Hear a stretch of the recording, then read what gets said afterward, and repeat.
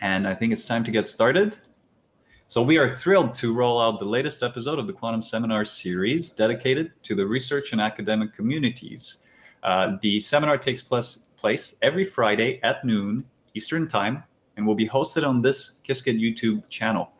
I'm delighted to see so many of you tuned in. I'm your host, Zlatko Minev from IBM Quantum Research, and today I have the distinct pleasure and privilege of uh, inviting Dr. Serge Rosenblum uh, from the Weizmann Institute. And uh, hello, Serge. Uh, how are you today? Hi, Zlatko. Uh, thank you for the too kind uh, introduction. I'm doing great. Thanks. And where are you tuning in from today, Serge? You know, it's my favorite question to ask. Yeah, it's a very good question. So um, I'm in uh, Rehovot, which is a small city in uh, the middle of Israel where the Weizmann Institute is located. And as you can see, for us, uh, it's just uh, sunset, so the Sabbath has just entered. So, All right. Yep. Uh, that, that, that, that's quite lovely. I'm in New York myself, just in the middle of the day. And before we pull up your slide, Serge, let me give a quick background. Uh, Dr. Rosenblum uh, did his PhD at the Weizmann Institute, uh, following which he took a postdoctoral offer at Yale University with Dr. Rob Schoelkopf, which is where I had the pleasure of meeting Serge. And um, that's where I learned that beyond being a great physicist, there's lots of great things that Serge is uh, able to do and capable. I'll leave those for the question and answer period after this. Uh, in 2019, Serge went back to the Weizmann Institute to start his uh, group there. Um, and uh, today, I think we'll hear more about that. And the reversal uh, and reversing the effect of errors during quantum operations. So, uh, Serge, you know the format is interactive. People can ask questions during the talk. And it is my pleasure to turn it over to you. Thanks, Zlatko, and I'd be, I'd be very happy to answer anyone's questions, so please interrupt me. Uh, so as you said, I'm a, uh, new faculty at the Weizmann Institute, uh, but today I will be uh, presenting work from my previous research uh, at Yale University in the lab of um, Robert Schoelkopf. So today we'll be discussing the, object, the subject of error correction, and this subject is often looked at as a, um, a feature that you can implement once you have very large circuits um, and this is for sure an important aspect, but in this talk, I hope to convince you that we can already start incorporating ideas from error correction and fault tolerance at the few qubit scale, so that we can then scale up in a more robust way. And today's story is about how we can identify errors that happen when we manipulate quantum information. And we'll see how to reverse their effects, all without disturbing the encoded information. So before I get started, uh, I just want to acknowledge the contributions of my colleagues and collaborators from the groups of uh, Liang Jiang, Michel Devoret, and Mazyar Mirrahimi. And first and foremost, I'd like to thank uh, Phil Reinhold, who's now at HRL, for doing uh, most of the work in this uh, presentation, and also Wenlong Ma, who uh, developed the theoretical framework so if you'd like to read more about uh, this research, I encourage you to look up uh, the two articles that um, you can see here at the bottom uh, that were just published about this work. All right, so uh, in the spirit of the times, I'd like to start with a wonderful Zoom lecture by Steve Girvin uh, that he gave um, for the Yale Quantum Institute Summer Lecture Series. So Steve was talking about um, Alice, who is um, works in air traffic control, and Alice wants to send a message to Bob, who's a pilot. So uh, she wants to urgently tell him that he has to hold short of taxiway TDB. Um, but the problem is he might not understand the message because noise might blur the distinction between these three letters, T, D, and B. They're very close to one another. So Steve proceeds uh, by explaining that if instead Alice says, United 517 hold short of taxiway Tango Delta Bravo, well, then it's uh, much clearer. So as a non-native speaker of English, I always like to put on subtitles. And even though Steve speaks very slowly and clearly, the auto transcript gives some very troubling results. So it appears as, though, as though Steve was saying that Allah says 9 and 597 whole sort of taxiway Tango Delta Bravo. So unknowingly, Steve himself gave a very nice uh, demonstration of quantum error correction.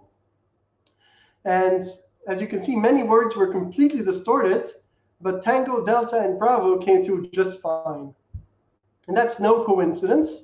these words were designed to be far apart in acoustic space from other words so that they can remain clearly distinguishable even in the presence of noise. So that's the key behind both classical and quantum error correction. So that's to encode your uh, symbol redundantly in a larger register. So you can then, under certain assumptions, be confident that your information will be robust to errors. For example, if you assume uh, noise is unlikely to affect more than one letter at a time, then it's clear that by encoding, say, L as Lima, you'll do a good job of securing the message. For example, if the M switches to an N in your message, the simple error correction algorithm can identify that Lina is actually a distorted version of Lima. So in, uh, besides just uh, transmitting and uh, storing data, we also want to uh, process our data. Um, but of course, it would be unwise to decode your uh, information, then apply a certain operation, and then encode it again later. And that's because, of course, you become sensitive to errors during the operation. Instead, what we need to do is to apply encoded gates which, which apply the desired operation uh, in the encoded space. So we are never, never allowed to uh, leave this uh, safe space of uh, quantum error correction. So the question is, um, what do these encoded gates look like?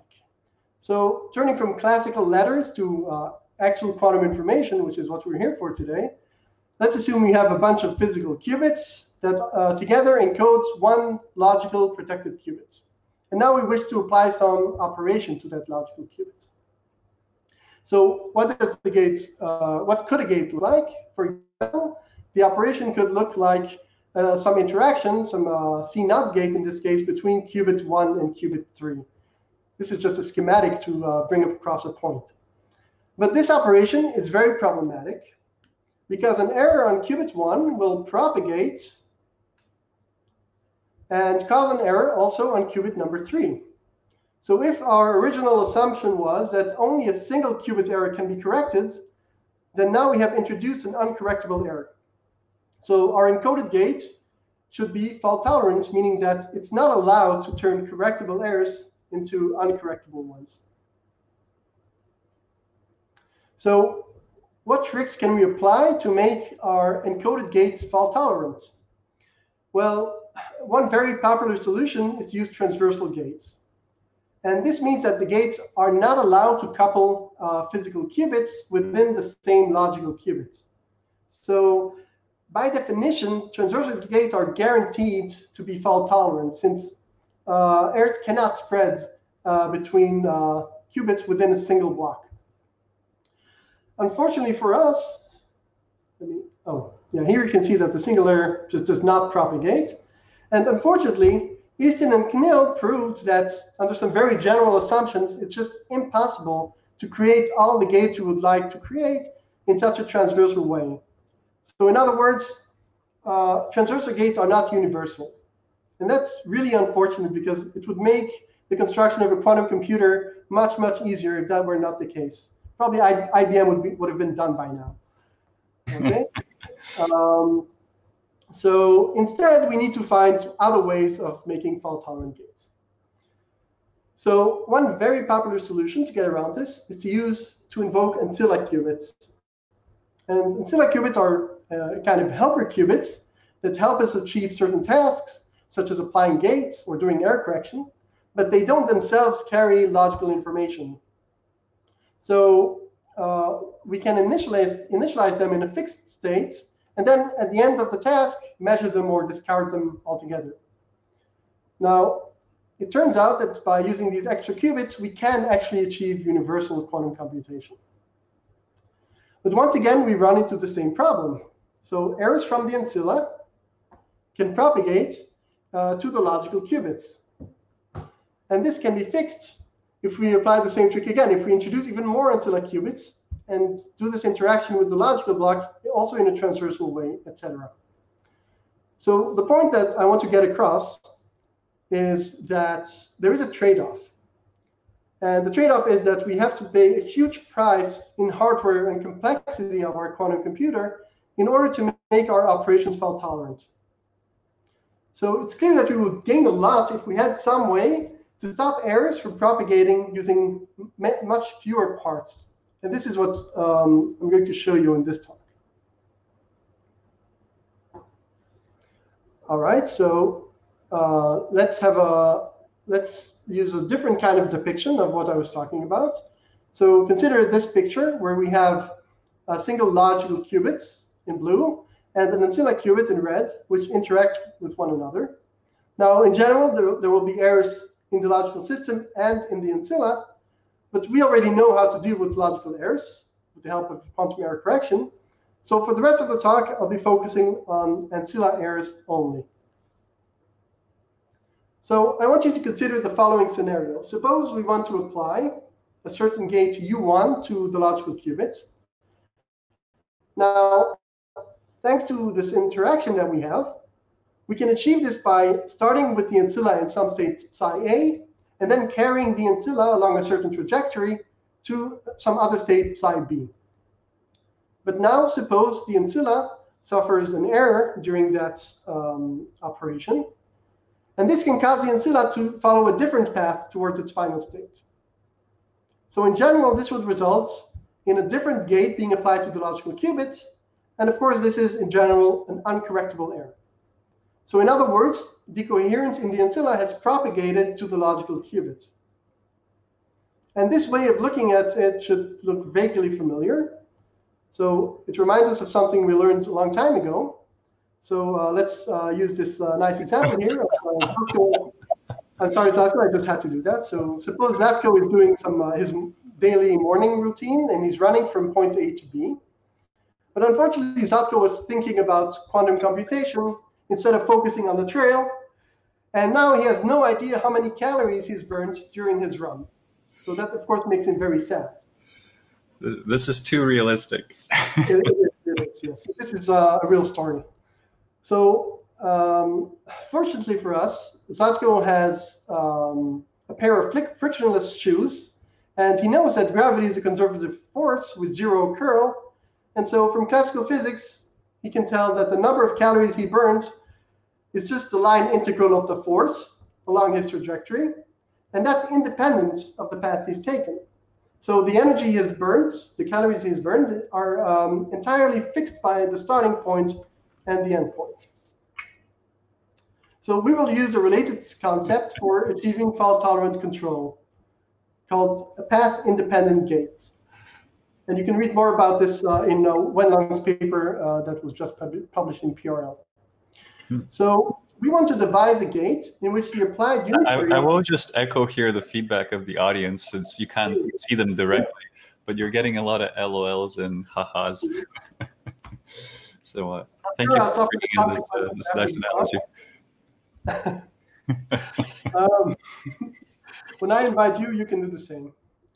So uh, we want to devise a gate in which the applied unitary on the logical qubit is independent of the ancilla trajectory. So formally, we can write it in this way here.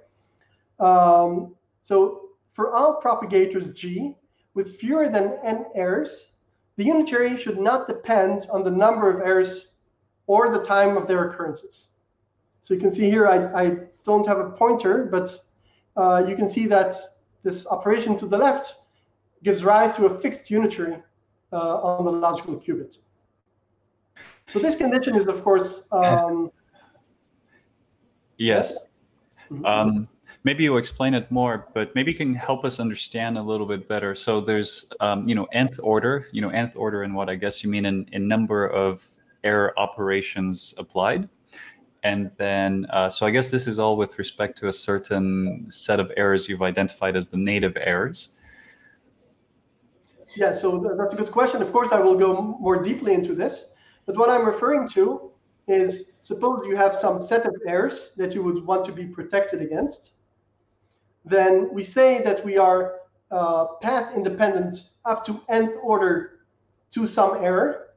If we can, if if there are fewer than n errors, the unitary does not change. Okay, mm -hmm. so we can tolerate up to n errors, uh, and we will see examples of that later. Mm -hmm. Mm -hmm. Okay, Uh, if we have more than n errors, the unitary could change, and then we we do have an error. Okay. Right. Okay. Okay. Right. So. Uh, and and I guess here you're not measuring the errors, right? This is still time continuous. So in a sense, you know, usually we make this uh, model that the errors are, you know, x, y, or z gates, for instance, on a qubit. But of course, they're usually time continuous, right? They're, but when you measure them, you project them into x, y, or z. Uh, you project into an error. But here you have a continuous error, right? So um, I guess this, this sort of this is kind of the the model base of, uh, and and it, there'll be some maybe fine detail, but we can ignore the time continuity to a degree. You could think of, of the errors as discrete events that happen along the way. Okay? And there will be a measurement at the end, but I'll, I'll get to that. So maybe I'll, I'll uh, finish the slides and then I will be happy to maybe clarify further. Yeah. So, um, so what uh, Wenlong uh, from the Jiang group uh, from Yale and now Chicago showed is um, that you can show that path independence is associated, sorry, the, the path independence can be achieved if with every transition between two ancilla states, you can identify that transition with a certain unitary on the logical qubit, and that the chaining of consecutive and ancilla transitions corresponds to um, the unitary between the first and last ancilla states. That's a path independence condition. Okay, so in other words, if the ancilla goes from A to K and from K to some other states, et cetera, et cetera, and in the end the ancilla ends up in B, then the, the multiplication of all those unitaries have to give rise to uh, the unitary that would correspond to a straight transition from A to B. So this is exactly what we saw uh, earlier in your example um, with the running, right? So the uh, integral, well, the, the integral over the force along the entire trajectory should correspond to just the energy at the end minus the energy at the beginning. Mm-hmm. So we reduce the dependence on whatever happened in the middle. So this is uh, the path independence condition. Okay, and uh, to give you just a brief taste uh, of how this condition works in practice, and we'll get to the examples later on. So we can first consider ancilla dephasing errors. So for example, dephasing errors happen when the environment measures your ancilla. Okay, so uh, in, in effect, the ancilla is projected onto one of its uh, eigenstates. So you can see here in this expression that instead of going straight from A to B like you wanted, the ancilla now goes from A to E, where it's projected by uh, the environment, and then goes from E to B. But you can see that if the path condition, the path independence condition is satisfied, then your uh, total unitary has not changed. Okay? And in fact, you can convince yourself that you can throw in as many projection operators as you want. It will not change the total unitary that you have applied. So this shows that if your path independence condition is satisfied, you can tolerate an infinite number of dephasing errors on your ancilla. And I hope this will become clear uh, soon. And yeah. Mm. And a similar argument holds for relaxation errors. So in, with the relaxation error, your ancilla uh, states relaxes or jumps from one state to another. But there too, if you can associate um, a certain uh, unitary with that jump, then if the path independence condition is met, once again, your total unitary was not affected by this uh, relaxation. Okay, let me just uh, drop in one more slide and then I will uh, be happy to answer the questions. So of course, uh, you can say that there is no particular reason that um, when you're running that you should reach the correct final location. Okay, you could just end entirely in the wrong uh, endpoint. But in quantum physics, we know that that doesn't matter. So um, as long as we know where we are, okay, we have applied a deterministic operation in your case, you know exactly how many calories you've burned, even if it's not the number you've uh, you were hoping for.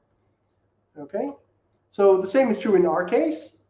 Since the ancilla does not carry logical operation, we're going to measure it at the end of the gate, and this measurement will tell us unequivocally which unitary was applied. Okay, so just to summarize this, the protocol is going to be that we're going to initialize the ancilla. We're going to carry the ancilla along a desired path to implement our gates on the logical qubits. And then at the end, we measure our ancilla. If the ancilla is in the desired final state, we are guaranteed by path independence that the correct operation was applied, even if there were uh, errors in between. If the ancilla was in the wrong state, we know exactly what operation was applied to the logical qubit, and we can correct that error. And then if you want, you, we can repeat the gate. So of course, the, the entire uh, difficulty will be to engineer a type of interaction for which this path independence condition holds. So maybe that, this is a good time to stop and answer some, some questions. Yeah, thank you. This is a really beautiful kind of introduction to at, at, a, at a high level to this. Uh, there are a few questions from the audience, and there's a bit of a discussion. I, will mention, since you can't see the chat directly, uh, Phil, Phil, is also here. So hello, Phil Reinhold. Uh, and Phil's been chiming in and helping answer some questions. So thank you, Phil. Uh, there was a question about the uh, the path, the, the, qubit accumulating phase along the path, uh, path, and I think that that was maybe already answered in the chat, but Thanks, Phil, for doing my job. um, yeah, so as long as this phase is deterministic, then first of all, then certainly we don't have to worry. Yes. And right. mm, so mm-hmm. maybe there another question that was not answered? Uh, yeah, this one is. Uh, as I give examples, this will become a lot clearer. Yes, please go ahead, Zlatko. I think so. okay. Yeah, great. Um, yeah, I think I started putting the example in my head of, of your recent paper, and that helped clarify, but you'll get to that. So um, from Bryant, um, can this kind of idea or methodology also be used in order to predict uh, what happens? And I think maybe you've clarified this question a little bit. What happens when you have uh, maybe some of these factors and variables, but aren't necessarily certain of the relationship or degree of the dependency. I think the question is along the lines of, well, what if you don't necessarily know, uh, you know, all these processes ahead of time, right? You don't have a great model, uh, you know, to, but maybe, you know, how much knowledge of the system do you need to actually uh, take advantage of this, or is there some, in some case, where you can just throw your hands up and say, well, I know that it works uh, but I don't know individually what the processes are. Uh, maybe that's a little vague, but yeah. So uh, just like any kind of quantum error correction protocol, it's designed. The protocol is designed to uh, fix a certain type of errors, and usually it's a dominant errors that you want to tackle. So, um, so you have to identify a certain set of errors, and then those errors can be tolerated, at least to, to the order uh, that you protected. But uh, a general error that is not um, that breaks your path independence condition, if you like, would not be protected in our case. But this is a general feature in every type of quantum error correction. So you always have to build layer upon layer in any case. Mm. Yeah, no, this is really cool. It's a great idea, and there's a lot of excitement in the chat about it. And um, it, you, in the model here that you gave for the dephasing, for instance, right? You you, you assume that the environment in the simple model, maybe, you know, that the environment essentially projects you onto a particular state. Um, mm-hmm. What if, uh, you know, does all the argument hold the same if the environment uh, applies a particular gate instead of projecting you onto a specific state? I guess that's maybe just a different unraveling of the trajectory, so to speak, yeah. is equivalent. So another way to look at um, dephasing uh, as you so you can look at it uh, you can look at it as a projection, but you can also look at it as a random z gate applied to the ancilla, a random phase gate. This, this is why it's called dephasing. So in that case, we would be fine. Um, and relaxation, you could think of it as an, an X gate in some sense. Uh, but certainly there are, uh, as, as I said before, there are operations on the ancilla that if the uh, environment were to apply those randomly, we would not be protected. Uh, to take this to the extreme, if you hit the fridge with a hammer, this is also an operation, and path independence certainly does not solve that. Yes, excellent. Uh, that's a good one. Or ionizing radiation. okay. Great, thank you. Okay, so I, I hope that with uh, some real life uh, examples, this, this may become clear. So uh, what we're going to do is to implement this uh, error-corrected uh, gate using path independence in an experiment. Now, the traditional approach that most of us know is to do error correction by uh, encoding a single logical qubit in many physical qubits that are laid out in this um, uh, surface array, like this uh, very outdated picture of that I took from the internet of IBM. Um, and this encoding in many physical qubits provides necessary redundancy.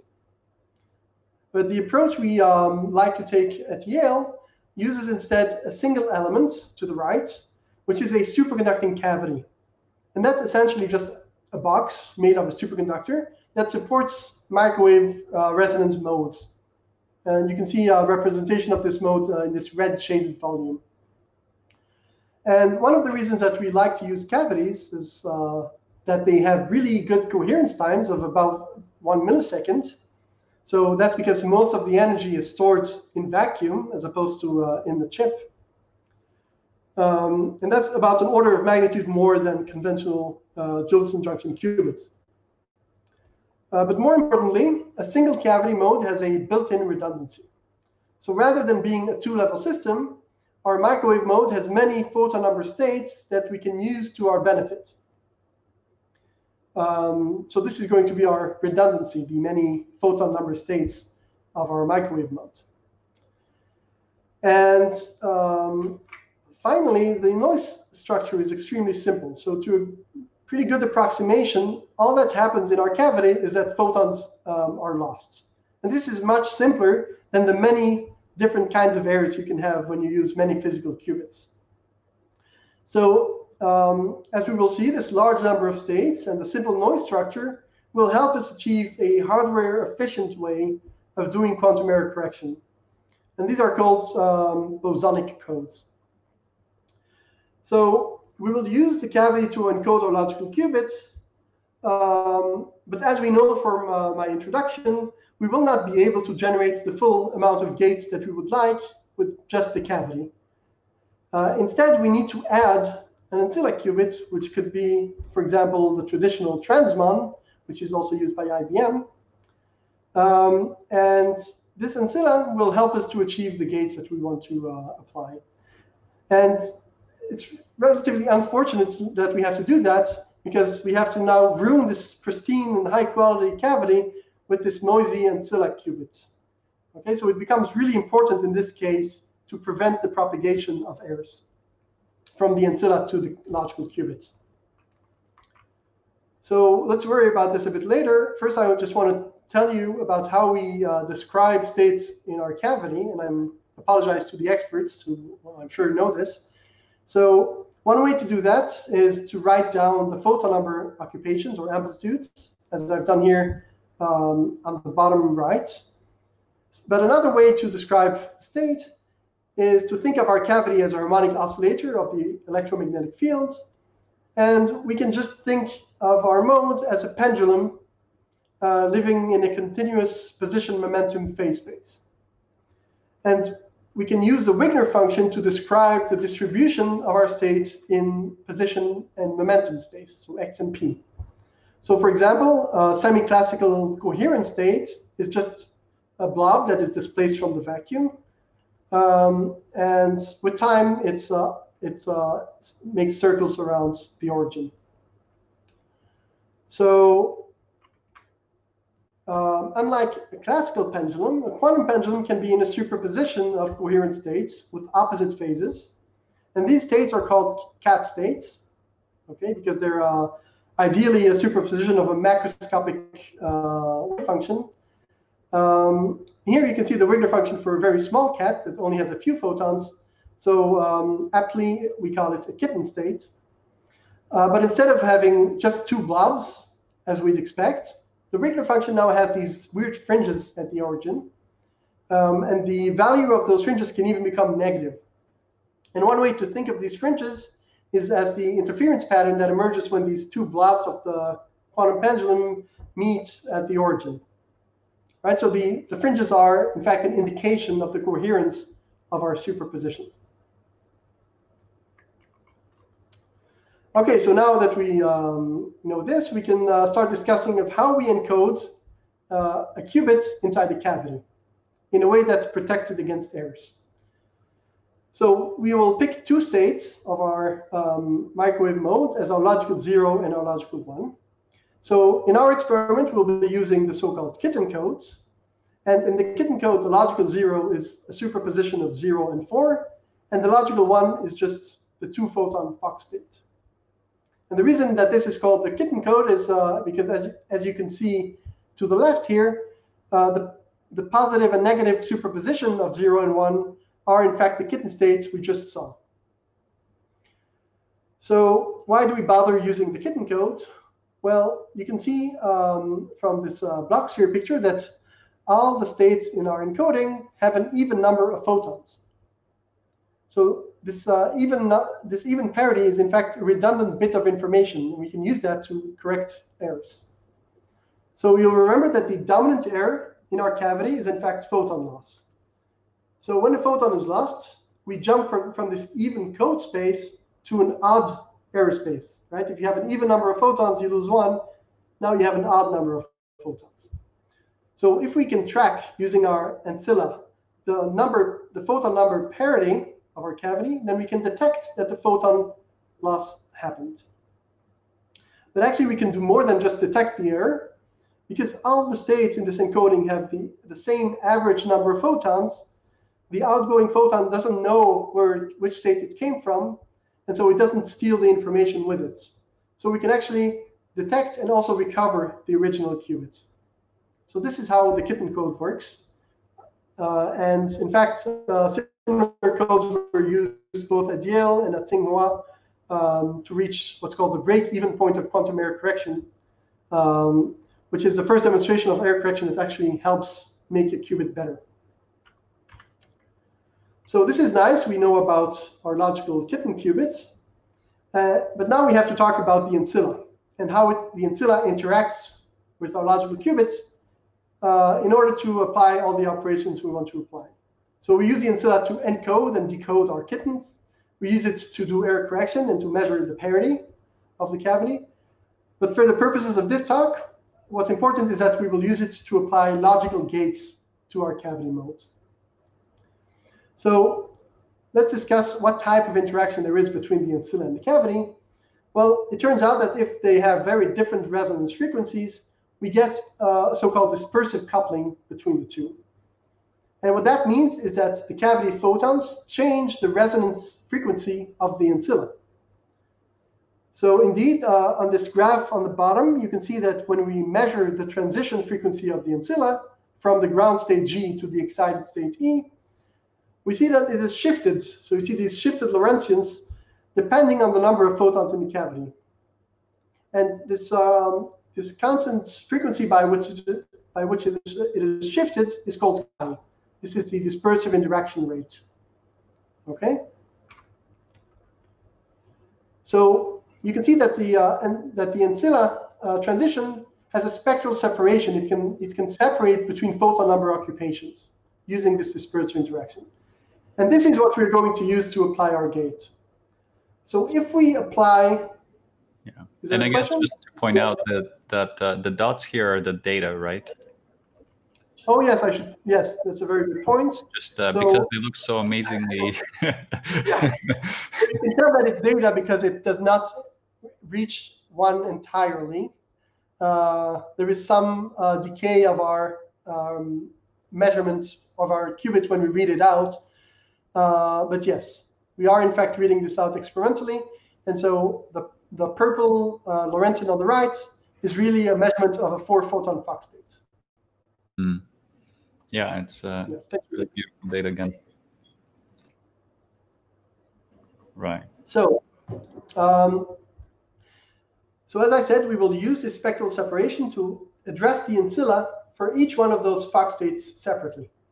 Okay, so what we're going to do is we're going to apply a slow selective pulse to the ancilla that will bring the ancilla from G to E, but with a different phase for each photon number. Okay, so if we uh, send a sine wave at the frequency that corresponds to uh, n equals zero, zero photons in the cavity, we could send a cosine wave to the n equals one components. Okay, so you can really, we can really uh, control the phase that we apply to each photon number. Okay, and this way we impart an arbitrary phase to each Fock state component in our state. And Serge. So another way to see this.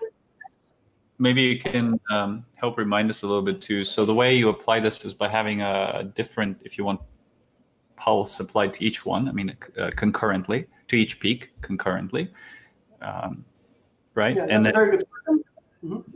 Yes. Um, yeah, maybe you elaborate, but basically, you know, there's there's well, actually, yeah, maybe you don't need to worry about. So, do you have to worry about the uh, spectral leakage of each one, or can you just design your pulse shape in the right way all, altogether? And how do you do that? Yeah, that's a very good question. So, of course, you could apply first a pulse to uh, the n equals zero transition, and then do it for the n equals one transition. Um, so you would apply different frequencies at different times, but that's of course very inefficient. So what we do is we actually apply all those different frequencies uh, simultaneously. Okay, and I, I, think I have a slide about that later.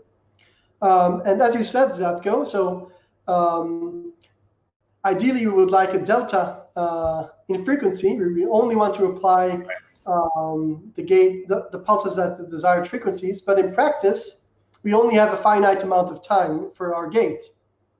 So the shorter we make our gate, the broader our pulses become in frequency and the less selective they become. That's not good. But if we make our pulse too long, then we accumulate too many errors on the ancilla. So the trick is to find some compromise between uh, spectral uh, addressability and ancilla decoherence. Okay, so in our case, the the pulse that we sent is um, about one and one and a half to two microseconds long. Mm-hmm, mm-hmm. Okay, I see. Yeah, so that that's sufficient to resolve. Well, um, but is the way you construct the pulse simply the sum of the control pulses on each of the peaks individually, or is it constructed by a different technique? Yeah, it's just a sum, um, and you can do some pulse shaping to minimize the spectral overlap with the different peaks if you like. Yes, but ultimately you will always be limited by this time energy uncertainty relation. There's nothing you can fundamentally do about that. Right. And uh, how, how, fancy do you have to get in the pulse shaping? Like what? What? Yeah, um, that's a good question. So um, we, maybe definitely, later. I don't know. Uh, I don't want to break your flow too much. no, it's a good question, and to be entirely honest, we've definitely tried that. Um, I, I don't think it mattered too much. If it did, I would have remembered that I don't. so I, I, think I think we do not do any uh, special pulse shaping. Right. Yeah, because you could you could try to shape, I guess, each one to have a minimum of the you know leakage uh, on at the next order of the of the peak, but uh, I guess your pulse is quite long, so maybe you, you just don't have that much bleeding through uh, into the other yeah. Yeah, we do not. We do not have a lot of bleeding, and uh, we, we will be limited by other things, as you will see. Um, yeah, those are those are very good points. Thank you. Uh, and, and, then each peak is calibrated individually yes. in terms of the amplitude of the pulse that you send. Yeah, that, that's a very good point. So uh, for our gate to be path independent, as you will see, we need the ancilla to go up from G to E simultaneously for all states in our logical system. So, uh, so our ancilla should not know whether there are zero photons or two photons or four photons in the cavity. So the only way to do that is by having the rates be exactly the same for all uh, photon states. And we do calibrate those independently. And I guess for the audience member who's coming from not cavity world, but uh, always qubit world, uh, this is this is a uh, by the way, heated discussion we had in, in the summer school lectures. I recently uh, taught to the superconducting qubits. You know, we were talking about it. They're only qubit people and oscillator people. I think I know which type of person you are. Uh, but, for, but for the qubit people in the audience, uh, I guess we could equally well say perhaps here that. Um, well, actually, maybe it's a little more subtle, but uh, in, in, a sense, it's almost like you have, you know, uh, five ancillas in one uh, main logical state here, right? Uh, logical system, if you want. The, so each pair of the, or each Fock level here, tensor qubit is uh, almost, um, well, maybe maybe that's. It's part of our encoding. Yeah. Uh, so I, I, wouldn't really say that. And just uh, to just settle the debate, uh, we have both uh, a spin and an oscillator, and I love them both equally. so, um, He's coming, right. I have to be politically correct here. So um, yeah, just to finish this train of thought. So once again, we will drive the ancilla from G to E, and uh, we will do so with different phases. And uh, this way we can apply, apply a phase gate. So we can apply arbitrary phases to each Fock state component.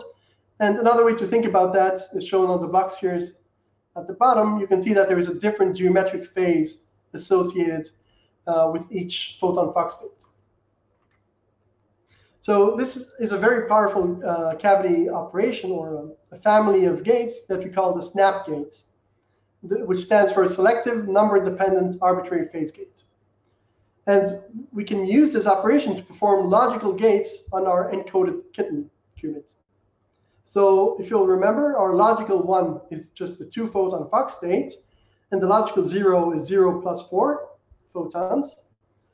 So if we want to apply a phase gate on this encoded space, then we have to apply a certain, a certain phase to the one, to the logical one, and another phase to the logical zero.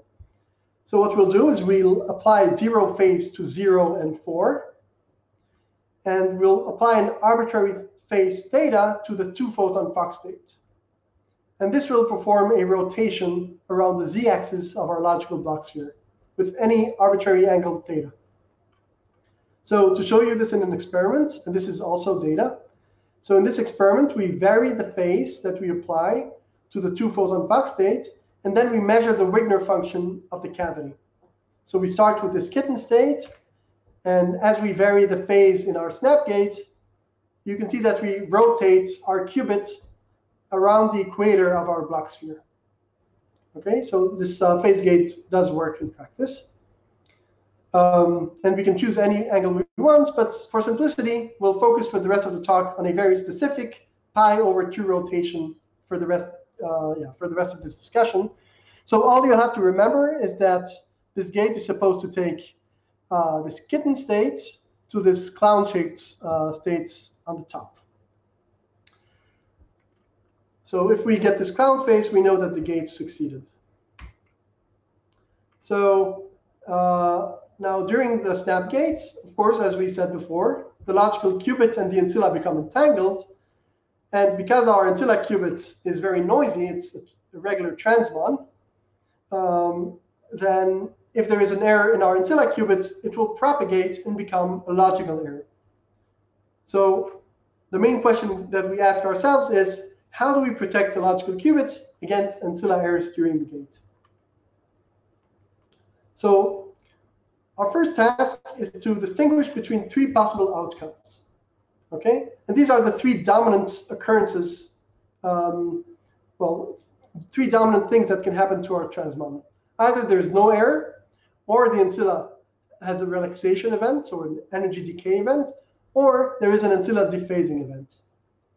So if we want to identify which one happens, it makes sense to not use only two levels in our ancilla, but three.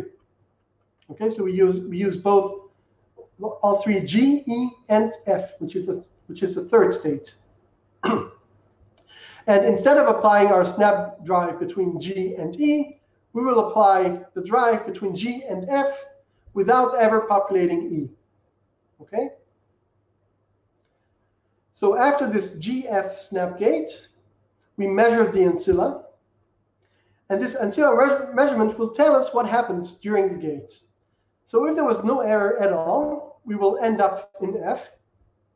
And the logical gate is successful. We have a happy clown face here. But if we measure that the ancilla is in E, well, that means that there was a relaxation event, uh, and the ancilla jumped from F to E. Now, surprisingly, you see that there is still a clown face, so the gate still worked, and that's because a relaxation event means that the, the ancilla had to pass through F. Okay, so in fact, what happened is you completed this geometric phase, you completed your trajectory, and then you dropped down to E. Okay, and finally, if we measure G, Well, it turns out that that means that we had a dephasing error. Okay, the, the environment projected us to G. Sometimes we're projected to F, but that's, that's trivial, that's no problem. So when we're projected to G, our snap gate has failed, and we remain in our original kitten state. Um, but that's not a big deal because at least we have a deterministic uh, operation, well, which is the identity, and we can just reapply the gates. Okay, so no matter what we measure, uh, what the outcome is of our Ancilla measurement, we have a fixed uh, operation that was applied to our logical qubit. So this should ring a bell. And indeed, this gate was designed to meet the path independence requirements that I discussed in the beginning. Okay, so maybe after this slide, I, I will uh, stop for answering questions, but this kind of uh, closes the, the story. Um, so let's look at this graph. We can see here uh, that there are multiple ancilla transitions. So we have G at the bottom, E in the middle, and F at the top. So the snap operation is represented by green arrows. So as we know, the uh, ancilla, if the ancilla goes from G to F, then we have applied our snap gates S theta. And it turns out that this same operation, when the ancilla is in F, and uh, well, the, when the, sorry, when the snap gate brings F to G, the opposite phase is applied. And that's because the geometric phase uh, uh, switches sign when you rotate in the other direction. Okay? So instead of S theta, you have S minus theta. So what that means is that if you go from G to F and back to G, you have the identity operation. And this is um, necessary for us to meet our path independence requirements. Right? Just like when you have a force and you integrate the force along a closed loop, well, then you have uh, spent no energy, zero energy. Right? So here too, a closed loop should result in an identity operation. So if we now have dephasing, so dephasing can be seen as a uh, projection, so a transition from a state to itself.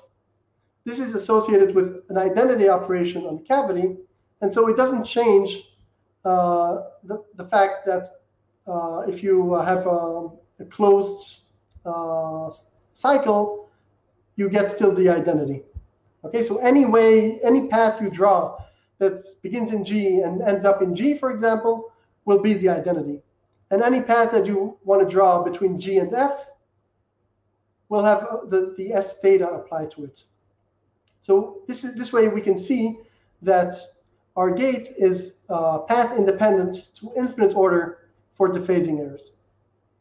Now, if we had a relaxation from F to G, this would break this path independence, okay? Because now you would have a, a different unitary uh, associated with staying in G and that's not allowed. But that doesn't happen. So ancilla relaxation is from F to E. And that's an, all, an entirely different transition to begin with. Okay? So this is why when we measure E, there's no confusion here. The operation that was applied was S theta times the identity. So we're good.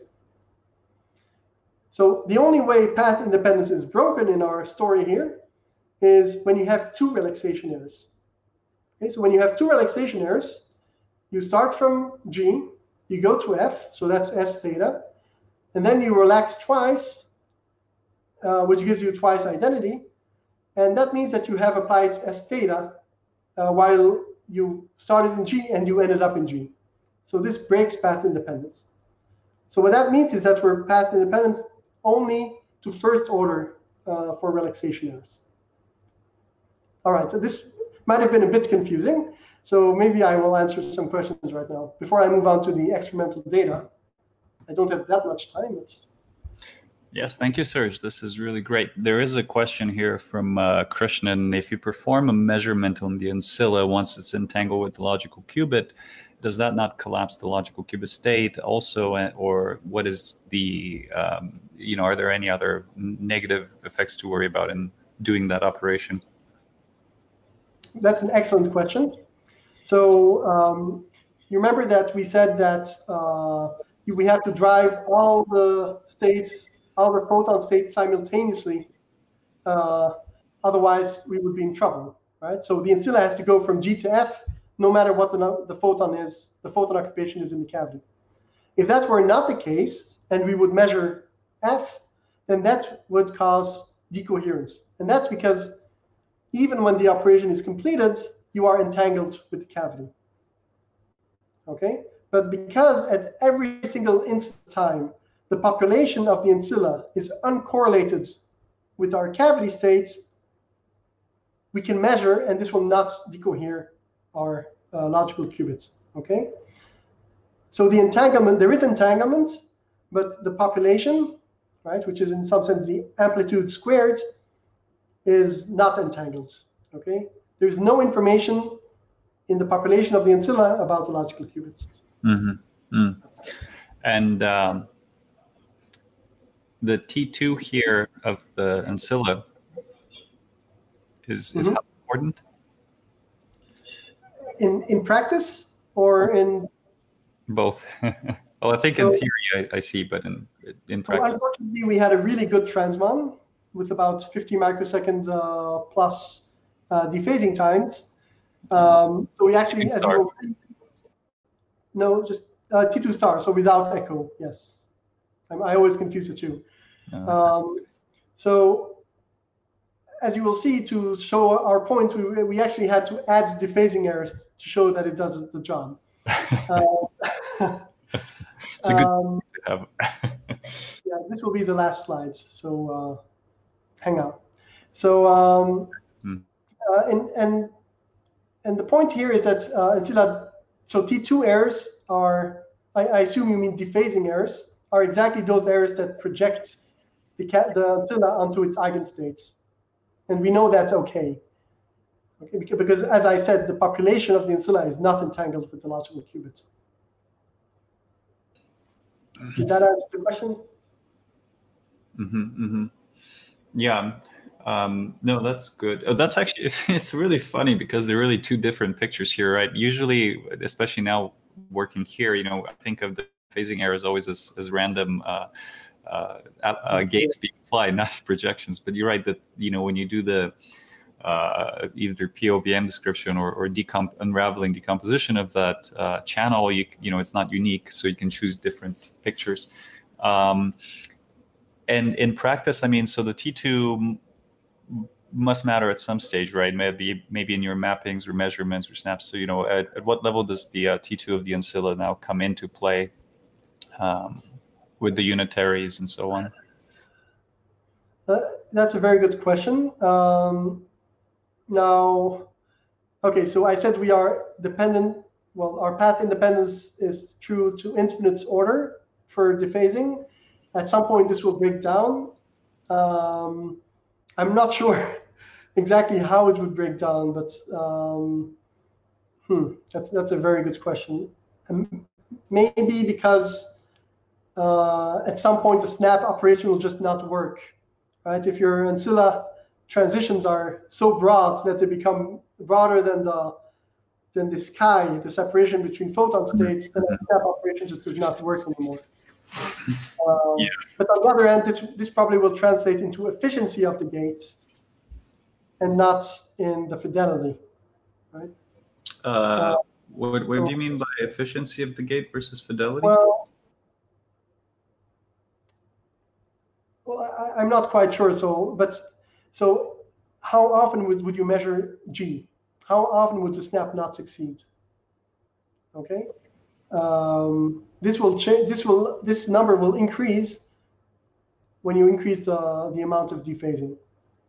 Um, and maybe I should add also that okay, here's a practical problem with dephasing. So during our snap gate, we don't only apply. Uh, this is maybe just for experts. We don't only apply uh, um, the gates we want to our logical qubit. We we actually also have a small correction for the Kerr effect our cavity is not perfectly harmonic. Okay, so um, so if if we uh, don't succeed in applying uh, the snap gates and we stay in G, then it's not exactly the identity that we apply. There is some distortion because of the Kerr effect, which we cannot cancel because the cancellation only works if uh, the snap did its job. So this, in the end, would uh, would maybe stop you from being uh, protected against dephasing errors. Yep. Our main problem is with relaxation errors. Mm. And uh, actually, I, I, I just noticed that Wen Long Ma, uh, I think that must be the same Wen Long Ma from the paper, uh, is is here as well. I, I would just throw in his comments since you can't see uh, his face here, so I'm trying to be the face of the audience. Uh, as much as possible. The dephasing error makes makes the ancilla go additional loop paths in the diagram, since each loop path produces only an identity operation. So the final operation is only determined by the initial and final ancilla states. So okay, what so is referring to are these red circular arrows, which correspond to dephasing. So these operations um, uh, you know, meets a path independence requirements. They're just the identity operation. Mm-hmm. Okay. Great. Okay. Yeah, but maybe for applying some of the other two-tone uh, or um, off-resonant pulses and things like that, the, the line width would matter for for your nonlinear parametrically activated interactions as well. Um, yeah. Yeah. There's a there's a lot of uh, experimental uh, details that I'm leaving out here. Uh, I, I, just don't want to open the Pandora's box. Uh, we can leave it for the end of the talk. absolutely. I will just ignore any such questions. So, uh, all right. So let, let me uh, maybe pass to some uh, data, right? I want to show the experimental results. Uh, but just before that, I want to show you how we do this GF snap operation without ever passing through E. And we do that by using a two-photon Raman transition, in which we have one strong tone detuned from the GE transition and a few weak tones detuned from the EF transition. So this uh, this uh, maybe refers to the question that was asked earlier. You can see that there is one strong tone and many weak tones, each of which, well, three weak tones, each of which drive a different photon Fock states simultaneously. Okay, and because there is this detuning from the E state, we never uh, we never populate E unless there is a relaxation event. Okay, so here's the first version of our experiment. We first apply our logical gate, our GF snap gate, and then we measure the ancilla. And finally, we perform Wigner tomography to look at our uh, logical qubits dependent or conditioned on the measurement outcome. So here are the experimental results. Uh, you can see that if we are if we measure that the ancilla is an F, we get the happy clown face, uh, which means that our gate uh, was successful. Uh, so there was no error in the ancilla. Now, if there was a relaxation event, we see that the gate also worked. So there is a, a deterministic rotation, which we do not uh, care about so much because it's deterministic.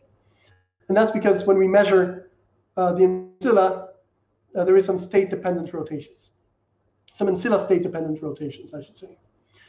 Um, so, so the uh, gate works when we have a relaxation event too. And finally, when we measure G, this corresponds to the, the phasing event, and we see that uh, the gate did not work. We're left in the initial uh, cat state, but uh, we should be um, happy about the fact that the coherence is almost perfectly pre preserved, right? So we still see the fringes very nicely.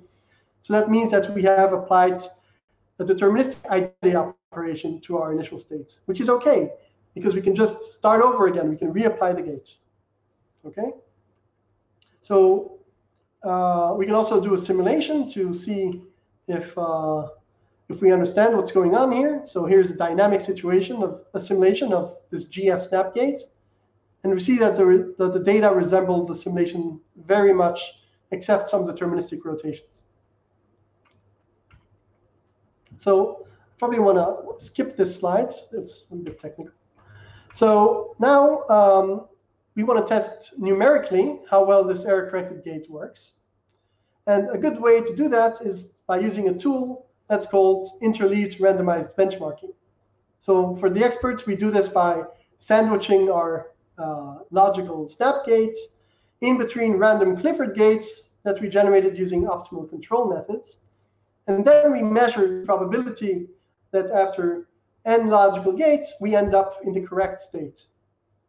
So what you have to remember from this is that we have a way to precisely characterize the infidelity of our logical gate by looking at how fast this uh, randomized benchmarking curve decays. So you can see the results right here. So in, uh, in blue, we have what happens when we use the regular snap gate without this measurement of the ancilla and without any feedback. And what we get is a infidelity of 4.6%. And that's mostly because of the ancilla relaxation. Um, but when we use uh, the error-corrected gate in red, we get only half that error, so 2.4% error. So even though the error-corrected version of the snap gate is more complex, we get a factor of two improvements in the fidelity. Um, and it's important to note here that a sizable fraction of the remaining error is just photon loss. And photon loss we know we can address, right? We just have to measure the parity of the cavity and then uh, correct for that error. So if we ignore photon loss, there is a threefold improvement in, uh, in gate fidelity by using the error-corrected version. Okay, and I should emphasize here that the error correction includes ancilla measurements, uh, reset of the ancilla, and a, a, correction to the, the cavity state, and in the case of measuring uh, dephasing, we reapply the gate. So we have this feedback. Okay, so it's rather complex. So the last piece of data is, in my opinion, the, the most convincing.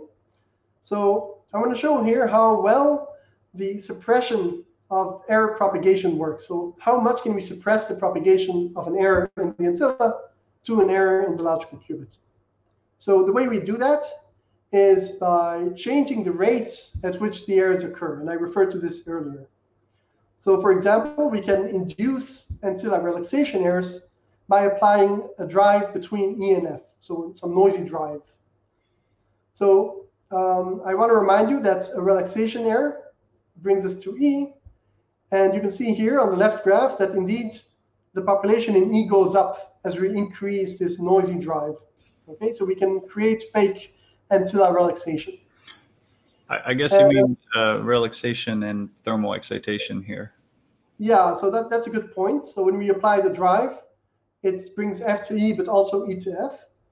But when the probability of being in E is low to begin with, then we almost only have uh, transitions from F to E. But you're absolutely right. This is only uh, to mimic the effect of relaxation. Yes.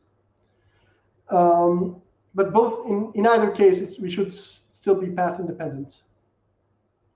Um, and on the right, what we do to induce dephasing errors, um, we add a noisy drive to the readout resonator.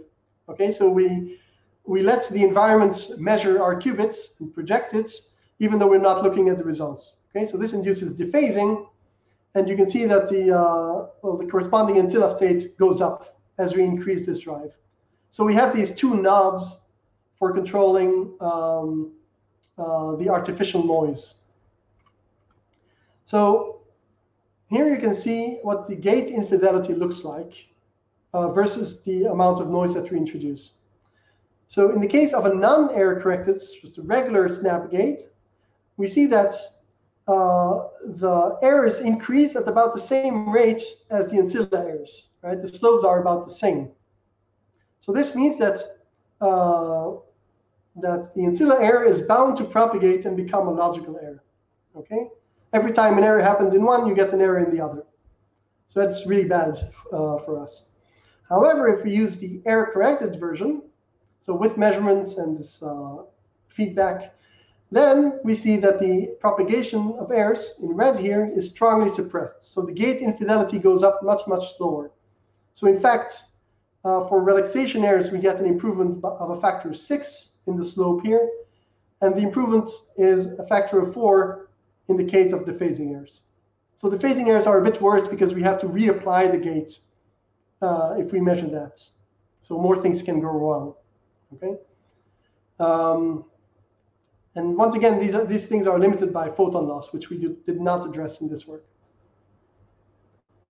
Okay, so this uh, these results really establish that our error-corrected gate works and that it's really able to suppress error propagation from one uh, part of a system to another uh, using this principle of path independence.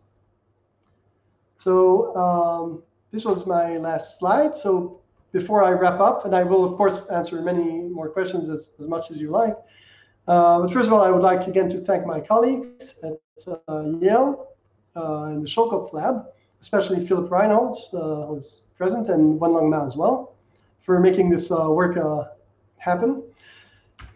And um, finally, if you would like to combine quantum computing with um, awesome hikes in the desert, then our group very new group at Weizmann in Israel is looking um, for uh, really talented and passionate students because we're uh, expanding right now. Our fridges are coming or being installed actually on Monday. So this is a great time to join and uh, um, yeah, that's about it. So I leave my conclusions up and I'll be happy to answer any remaining questions. Thank you, Serge. This was fantastic, and um, very excited to see the uh, the picture of the growing lab. Uh, and regards to Fabienne, um, I, we do have some pending questions here from the audience. So uh, one of them here has to do with uh, the readout of the parity, uh, how you do the parity readout. If you can clarify that a little bit more, and uh, whether you use the same, you know, qubit cavity or there was a second one, etc. Yeah, that's a good question. So just to be clear, we do not apply the parity measurement here, which is why we were limited by photon loss layers. Mm. Um, so the way you measure parity is um, with a relatively with a scheme that is relatively standard now in the field. Uh, and again, it's uh, done by using the same ancilla. Okay, so uh, this dispersively coupled ancilla. And just very briefly, um, because of this dispersive interaction, the, the ancilla acquires a phase that is linear in the photon number uh, of the cavity. So if you wait for just the right amount of time, which is actually pi over chi, mm-hmm. then the phase becomes plus one for zero, minus one for one, plus one for two, minus one for three, etc. So uh, the phase becomes minus one for all odd states and plus one for all even states. And this we can measure. And in this device, were there two ancilla qubits or one ancilla qubit? There's one ancilla qubit. One ancilla qubit. Okay, good. Um, let's see what do. Let's see. Uh, well, this is a more general question, but I'll, I'll share this one with you. I'm sure some people are curious. Uh, do you have to use error correction for all types of quantum computers? um, that's a very good question, and I think the answer is uh, very likely, yes, unless a completely new platform comes up. Um, and that's because qubits are just by their very nature extremely fragile. Right. Okay?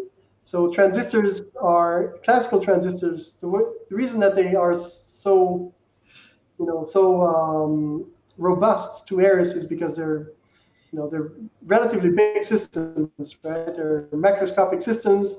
They contain millions of, of atoms and they include internal dissipation.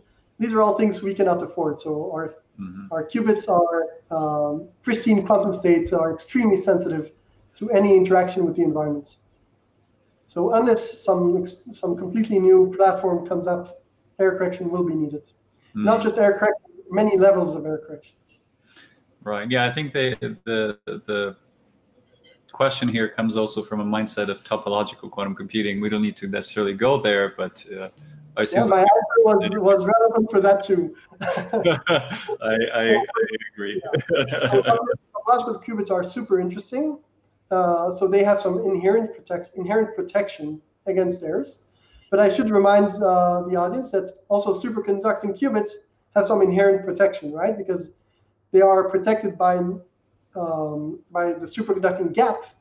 And in our dilution refrigerators, mm. uh, uh, you know, we are not supposed to have any dissipation of any kind. But in practice, uh, you always have some physical effects that um, that ruin the story and introduce some errors.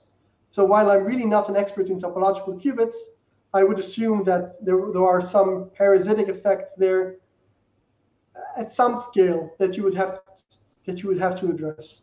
Yeah, one one effect I've sort of kept stayed up at night about is of course quasi-particle poisoning, something we worry about that that. Uh, uh, the gap doesn't always help you with, right? That goes over the gap in superconducting circuits, but is also an issue for for the typical topological Majorana types of uh, nanowire qubits and so on. So anyway, Absolutely. but still, yeah. it's extremely interesting to find out how well topological will do in reality. I guess the idea there is that you are supposed to start at a much higher initial baseline level. Uh, you know, once that's all demonstrated, um, but it, it you know, there's no free lunch. It seems like you have to do some sort of error correction, I think, to summarize what you're saying. I, I agree. And um, some qubits will be better and some qubits will be worse. But in the end, if we want a universal quantum computer that can factorize a 2000 bit number, the error rates are just astoundingly low. And the only realistic way of getting there is by applying some some amount of error correction. Yeah, um, the, this is an interesting discussion I also had uh, with uh, Aephraim Steinberg, who I think will also talk here recently. And actually, we've invited for the seminar. You know, we have to worry about also the entanglement between the light uh, that you use to drive your pi pulses and so forth, and uh, the qubit left behind, right? So, so light that you use to drive your pulses isn't classical; it's also quantum, and there's some residual entanglement that will limit you also at some fidelity as well. Uh, maybe moving forward to the next question to your experiment, to your uh, lab and experiment. Uh, this is also a more general question. Are there any plans to scale this procedure up to a larger number of logical qubits? Um, that's a very good question. So um, uh, scaling up to very large uh, number of qubits is not something that is typically done in academia. Uh, but I do hope there are some very interesting um, startup companies and and non-startup companies that are uh, interested in using these bosonic codes for doing quantum computation. Um, there's uh, at least two uh, two companies in the U.S. and one in Europe that are interested in that, and so I hope that these schemes uh, would be interesting to them. So uh, yeah, bosonic quantum computation is very much um, a thing that is uh, that is scaling up these these days. Excellent. Um, well, I should say that, these uh, the concepts I was discussing um, might also be applied to non-bosonic qubits. Right? I'm not exactly sure how, but this uh, idea of path independence is uh, is on purpose stated in a very general way. So it might be, be of interest to you as well to spin people. Uh, I, I think it's a great idea. I, I, mm-hmm. I, I love it. And you've done a beautiful demonstration. Um, so I think that brings us to the uh, end of our questions. If I miss any questions, I apologize. Please post them now before we close up.